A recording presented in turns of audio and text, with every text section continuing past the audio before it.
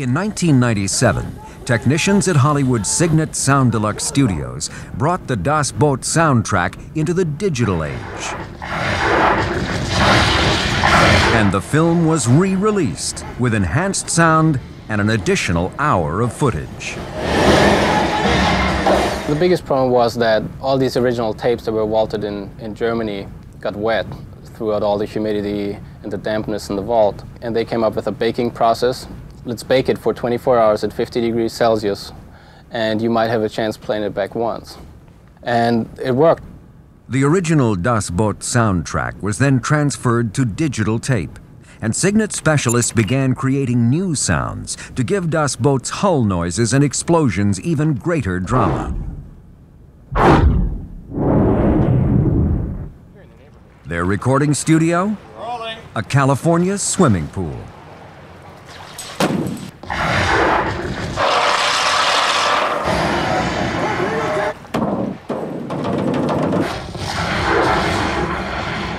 When we did the pool recordings, we tried to get as many props as we could think of, like trash cans and scuba bottles, up to a big canoe. The canoe metal bangs sounded underwater like huge wave impacts on the inside of the hull.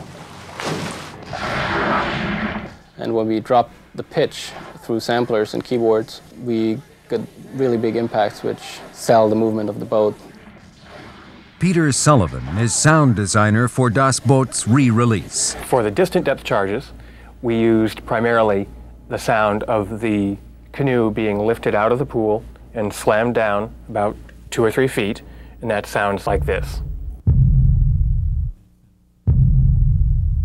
I will take some of the scuba tank airbursts that we recorded at the pool, then I can play them at different pitches.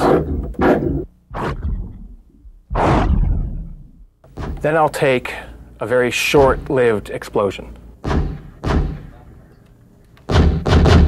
When it all comes together, it puts us in the audience inside the explosion. Not a spectator to it, but part of the action.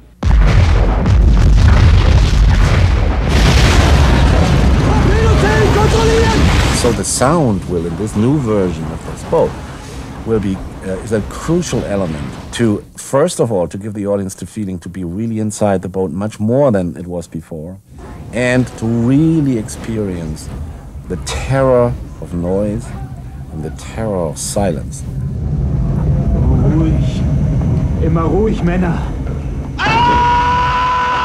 Indeed, Hollywood has fought and won its share of naval engagements.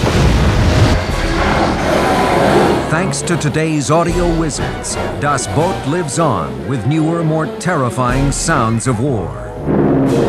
And the Battle of Midway will be refought for years to come.